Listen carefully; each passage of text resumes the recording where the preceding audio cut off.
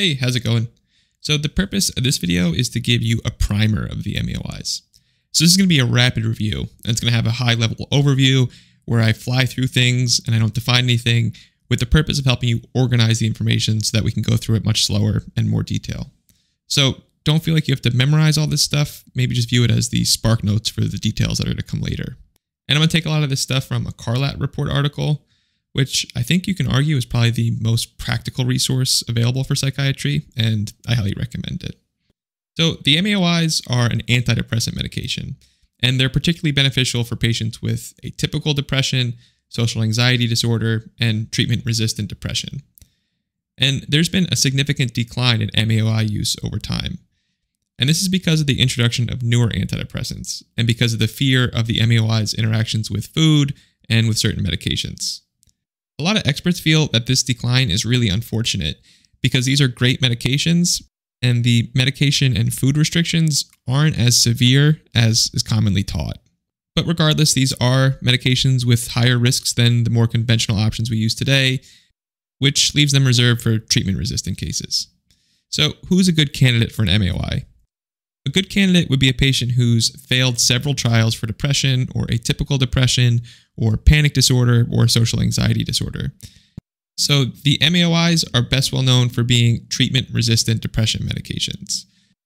And the usual definition of this is a failure of two antidepressants that have been taken for an adequate amount of time and at an adequate dose. So the mechanism of action of these drugs is that they block the MAO enzyme.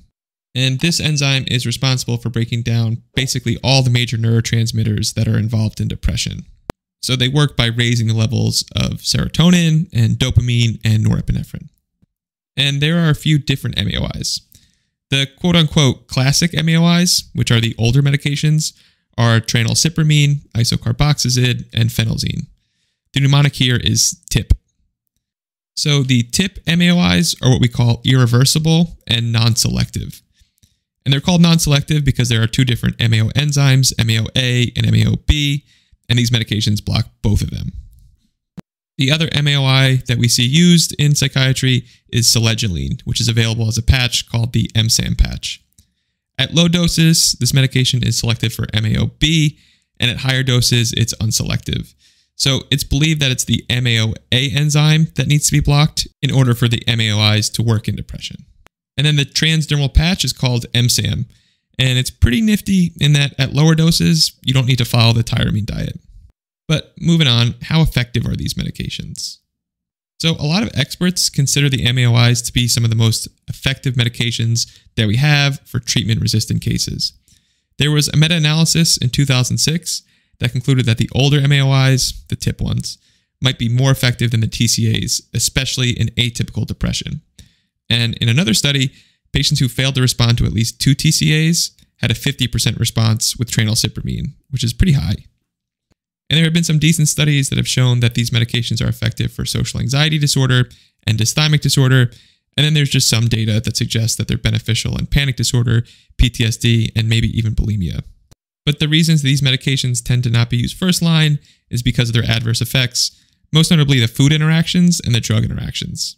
So the food interactions lead to a requirement for patients to follow the tyramine restrictive diet because of fear of what's called the cheese reaction. And then the two big scary things for the drug interactions are a hypertensive crisis and serotonin syndrome. So it's super important that for all patients starting an MAOI that they're well educated on a few things. It's super crucial that they understand the important drug interactions that occur with the meds. They need to be educated on the different food interactions, and this can be pretty confusing for patients because the dietary restrictions used to be very restrictive in the older days. And now we don't think of the dietary restrictions as as restrictive, but it still can be pretty hard to find trustworthy information in regards to how much tyramine is actually in foods. And then for the patients, it's super important to stress to them the importance of notifying other healthcare professionals that they're taking these medications. All right, moving on. What's the best MAOI to use? So typically tranylcypromine and phenelzine are considered the first line choice, especially for the classic MAOI class. So phenelzine might have some GABA activity, which helps me remember that it's a little bit better for anxiety. And then tranylcypromine is structurally similar to an amphetamine, which helps me remember that it's probably best for lethargic and melancholic symptoms of depression. And also helps me remember that phenelzine is more sedating and then tranylcypromine probably has worse insomnia. But these are just little rules of thumb. I don't really have time here to go into all the differences. And then there's the transdermal selegiline patch, the EMSAM patch. So this med has a favorable side effect profile, and it's probably less likely to cause the tyramine food reactions. So compared to say phenelzine, causes a lot less weight gain and less sexual dysfunction, but it might not be as effective in depression. Now looking at the side effects specific to the MAOIs, orthostatic hypotension can be problematic, which a lot of people might miss because they think of hypertension when they think of the MAOIs, but the hypertension is a result of the medication and food interactions. It's actually orthostatic hypotension that occurs with these medications. And the other side effect worth knowing is that it can cause pretty bad insomnia. So the overall summary of these medications is that in treatment-resistant cases, MAOIs are definitely worth considering. Particularly in atypical depression, MAOIs have a unique distinction as being more effective than any other class of medications, and these medications aren't as complicated as their reputation suggests. So these are reasonably well tolerated drugs, and the lore that the dietary and drug restrictions are something that will completely change a patient's life probably isn't well deserved because these restrictions aren't as burdensome for most patients who take them. Now, if you want to learn more about the MAOIs separate from these videos, I definitely recommend checking out Dr. Ken Gillman's work. He has a blog called psychotropical.com. He's considered an expert on MAOIs and serotonin syndrome. Now, I've learned a ton from Dr. Gillman. I should warn you, his writing is quite ornery, and I do think he can minimize the downsides of the MAOIs. But this might stem from the fact that he treats much sicker patients than we see today. So I don't necessarily agree with absolutely everything he writes, but I still have learned a ton from him, um, and he's a really nice and kooky guy. And if you're considering ever prescribing these medications or you want to learn more, I feel like his material is required reading. And he's put together a really nice prescriber's guide to using the classic MAOIs in treatment resistant depression. Hello, I am the creator of Psychofarm.